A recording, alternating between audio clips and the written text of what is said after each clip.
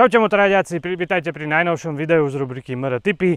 Znova sme mali nejakú trošku prestávku a ja sa snažím postupne nakrúcať tipy o tom, o tých vašich otázkach, ktoré ste mi naposielali. Aj táto otázka má už nejaký ten vek. Mali sme čo robiť, aby sme našli nejakú vhodnú zákrutu na túto inštruktáž, napriek tomu, že tá zákruta nie je úplne ideálna. Tá otázka od vás znela, ako prejsť pravotočivú, veľmi ostrú zákrutu vracák, napríklad na Stelviu, tak, aby som nespadol na krátku nohu alebo sa nezrazil s autom v protismere. Ja viem, že toto není Stelvio, napriek tomu sa nám podarilo nájsť čo najstrmšiu a najviac zalomenú zákrutu, čo najväčší vracák a pokúsime si k tomu teda niečo povedať aj v tejto zákrute.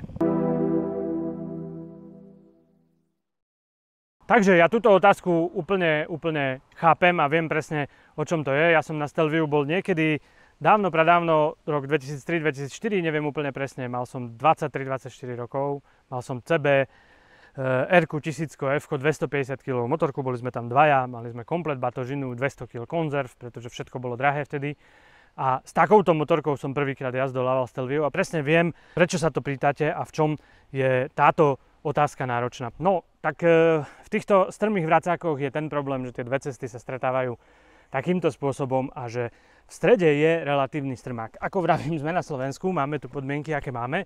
Napriek tomu si môžete všimnúť, že ten sklon toho svahu v tejto časti je naozaj veľký. Tuto aj niekto s nejakým autom zjavne vybehol e, dovnútra mimo cestu. Je vidno aj keď auta prechádzajú túto zakrutu, že majú čo robiť a že celkom sa teda natočia. Čo je problém tejto pravotočivej zakruty a prečo práve pravotočivú? No hlavne ten zásadný problém v tom, že je to vlastne tá najostrejšia možná zákruta a ešte s tým, že v strede je táto strmá časť, čiže treba veľmi tú motorku pomerne zakroniť.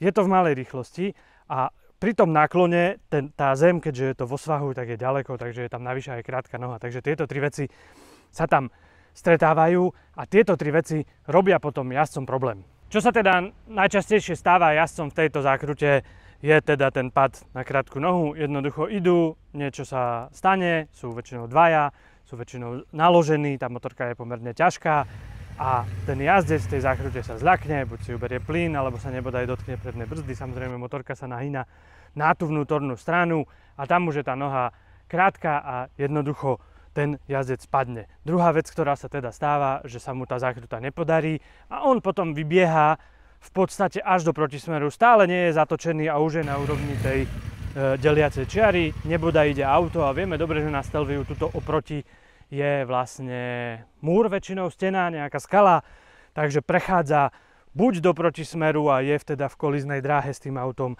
alebo musí teda tú motorku pred tou čiarou zastaviť a keď ju zastaví, takisto sa mu môže stať, že, že spadne, alebo tam ostane teoreticky zaseknutý, možno to auto prejde a potom sa musí nejako vycúvať, otočiť a v tom svahu rozbiehať.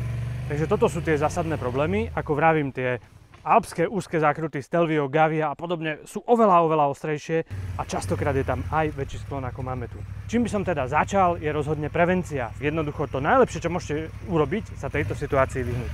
Čiže ako do tej zákruty prichádzam, sa držím na tejto strane pri strede a už sa z diaľky pozerám. Samozrejme na Stelviu mám výhľad a vidím, či nejaké auto ide. Ak nejaké auto ide, prípadne tam idú veľmi často dole mastia cyklisti, prípadne ich nejaké auto začína obiehať. Už dopredu vidím, že je to problematické. Ide mi tam karavan, alebo dodávka, alebo väčšie auto. Tak nie je žiadna hamba v dostatočnom predstihu pred tou zákrutou, keďže som tu, aby som videl, tak sa trošičku stiahnem o ten pol meter, zastavím, kde je to úplne safe a bezpečné, pozerám sa a nechám, povedzme to veľké auto, cyklisti, cyklisti, auto, ktoré obieha cyklistov a hoci čo prejsť. Takže som v bezpečí, vidím a mám už tú cestu úplne, úplne prázdnu, tak mám ten luxus. Rozbieham sa v podstate na rovine, žiadne štrajkovanie do kopca. Pekne sa rozbehnem, prespojkujem, môžem si využiť ten luxus, keďže viem, že nič nejde, že využijem trošku pol metra z toho protismeru. Tým pádom si to nájdem, zväčším si ten oblúk, ktorý je inak ostrý. Túto strmú časť môžem prechádzať v podstate rovno aj s menším náklonom. A keď už vidím koniec zákruty, Apex som vlastne prekonal, vidím, že tam nič nie je, tak môžem začať postupne zrychlovať. Čím viac zrychlujem, môžem tú motorku si trošku aj nakloniť. Nechám sa vysiviesť ku stredovej čiare a mám krásne prejdenú zákrutu bez toho rizika, aby mi v protismere niekto išiel. To je teda najlepší spôsob prevencia. No teraz si môžeme ukázať, ako by sa to v podstate nemalo robiť a čo je ten najhorší spôsob. Jazdci e, prichádzajú, povedzme, držia sa na vnútornej strane, rozhodnú sa, keďže vedia, že tá zákruta je ostrá, tak sa ju rozhodnú čo najviac reznúť, prídu možno len do stredu, tuto začnú natáčať. Tým pádom sa dostanú s motorkou na tú vnútornú stranu zákruty, ktorá je teda tu je naviac ten strmák. Na, v tom strmáku treba motorku naklapať do tej strany a na samotné zatočenie mi ostáva v podstate len šírka môjho jazdného pruhu.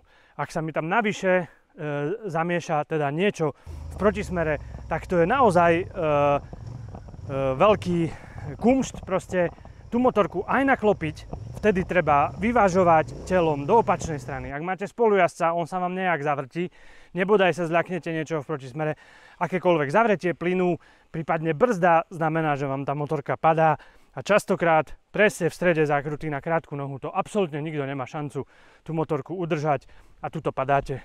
Zo zadného sedadla sa vám odkotulia spolujazdec, pada pomerne z veľkej výšky, môže sa zraniť a celá dovolenka je v prdeli. Takže povedal by som, že Najväčšia chyba je snažiť sa to vlastne vytočiť v tejto vnútornej časti zákruty. No a aký je teda ideálny prejazd? V prvom rade sú to vaše schopnosti a práca s motorkou v nízkych rýchlostiach. Už som robil o tomto videa, už sme, nedávno sme dávali video z tej e, školy jazdy z Pachfurtu, jednoducho, kde sa robia malé, ostré slalomy, osmičky a podobne.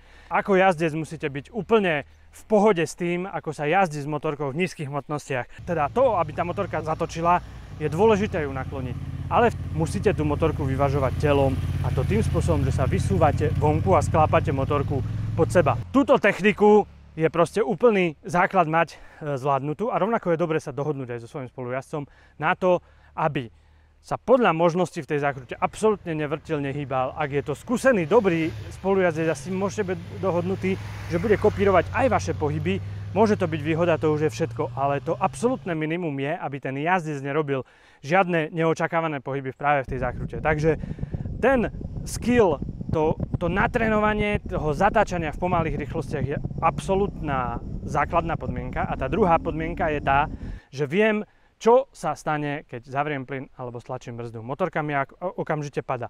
Ľudia preto nechcú vyvažovať tú motorku do tej opačnej strany, lebo paradoxne vám to ešte skracuje, povedzme, tú nohu a zväčšuje tú vzdialenosť k zemi, ale bez toho sa to nedá. Ak tam potrebujete zastaviť, je kľúčové pred tým, ako začnete brzdiť alebo spomaľovať, tú motorku vyrovnať. Vyrovnať ju viete jedine vtedy, keď ste na tej strane, ale pretože musíte ešte viac nahnúť na tú stranu od svahu, a ak by ste boli vysadnutí dovnútra, to je vlastne, to sa vlastne ani nedá a určite by sa vám to nepodarilo. Takže ak aj potrebujem zastaviť, tak najprv sa zrovnáva motorka a následne sa ide teda na brzdy a spomaľuje. No a teraz si môžeme povedať ten ideálny prejazd skúseného jazdca, ktorý má motorku poriadne v rukách, ten sa nemusí trápiť tým protismerom, pretože vie, že sa bez problémov do tej zakruty zmestí. Určite dôležitá vec je pohľad, mnoho ľudí pozera proste pred koleso, to je absolútne zlé. Už ak prichádzam z diálky, vtedy si pozerám túto časť. Keď už som tu, už dávno môj pohľad prekrúžil celú zákrutu a už pozerám na ten možný najvzdialenejší bod a v hlave už mám vykreslenú tú čiaru, ktorou pôjdem.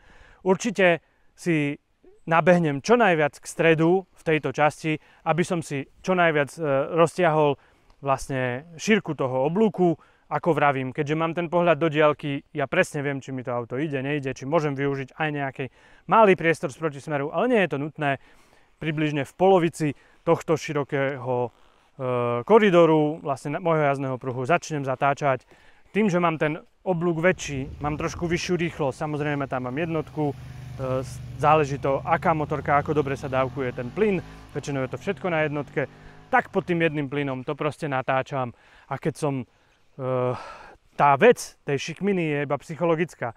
Eh, tá zákruta sa vyberá úplne, úplne normálne ako každá iná, aj keby bola na rovine na placke, takže tam sa ľudia len zbytočne boja toho, že tá zem je ďalej, ale žiaden rozdiel tam nie je. Takisto si tam tú motorku nakloním.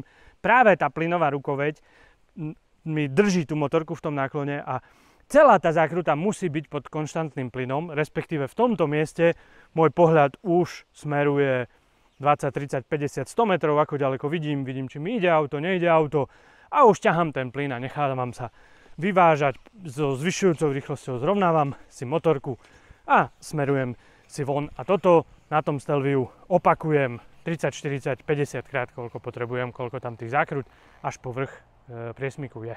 Takže v rámci možností a v rámci našej zákruty som sa to snažil čo najlepšie zhrnúť a zodpovedať teda túto otázku. Neviem, či sa mi to podarilo, vy mi poviete, určite mi napíšete do komentárov a možno niekedy v budúcnosti to ešte skúsim spraviť lepšie, e, možno aj v tých Alpách. Aby som to zhrnul, v prvom rade prevencia, nechod do tej zákruty, keď tam nevidíš, nechod do tej zákruty, keď, si, keď sa necítiš úplne komfortne s tou veľkou a ťažkou motorkou. Vravím, záleží to hodne od toho, akú motorku máš a ako si zaťažený. Sám dvaja, je veľa tých premenných. Podľa mňa nie je absolútne žiadna hamba zastaviť na mieste, kde si pri strede cesty, kde, kde je dostatok miesta v protismere, kde máš dobrý rozhľad a počkať radšej tých pár sekúnd, kým ti to auto a tá premávka v protismere prejde a vychutnať si tú zákrutu proste tak, aby si s tým bol spokojný. To je prvá vec. Druhá vec je tréning, rozhodne pred cestou do Alp, tréning na Slovensku. My tu až také zákruty nemáme, takže odporúčam tréning na parkovisku a nejaké ostrejšie osmičky, potrénovať si to s motorkou a potrénovať si s motorkou aj to, že som v tom náklone, v tej malej rýchlosti a teraz sa rozhodnem. Teraz chcem zastaviť najprv motorku začínam dvíhať a následne teda brzdím a následne dávam nohy obidve na zem a motorka musí byť, musí byť jednoducho kolmo, kolmo na gravitáciu, čiže keď ten svah je takýto šikmy, tak jednoducho tú motorku ja musím dať rovno. Čiže je mi jasné, že v tej vnútornej nohe budem mať trošku menej miesta, ale tá motorka musí byť rovno. Čiže môže sa mi stať, že zastaneme aj takto v tom extrémnejšom prípade. To je teda druhá vec, stabilný tréning. No a do tretice, jak to máš natrénované, tak potom choď do tých Alp. Je to tam naozaj krásne. V lete je tam ale fakt velikánska premávka. Fakt je tam tých motorkárov a hlavne karavánov a všetkých tých možných aut veľa. Takže je podľa mňa veľkou chybou tam ísť bez nejakej prípravy. To je teda moja tretia rada do tejto témy. Ako vždycky e, chcem poďakovať aj za túto otázku. Máme ich tam celkom veľa ešte, ale mnohé sú už e, podobne špecifické ako táto, takže budeme postupne na nich pracovať. Ak máte akékoľvek otázky na typy, čo by sme mohli natočiť, čo vás zaujíma, tak nám to posielajte, či už do fora, na mail, na Motoraj.sk, kde len chcete. No a e, ďakujem vám za to, že sledujete Motoraj.sk a náš YouTube kanál a vidíme sa pri ďalších videách, testoch alebo pri ďalších podobných motorajďackých typov. Čaute.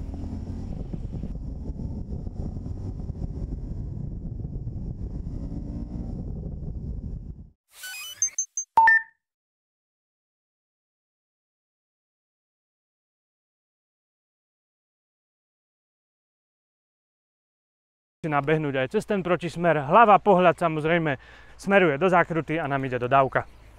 Pred chvíľou nám tu išla dodávka, tu, tu máme fakt akože širokú zákrutu a aj tá dodávka, ktorá išla dole, si to rezla e, viac ako polovicou profilu cez protismer.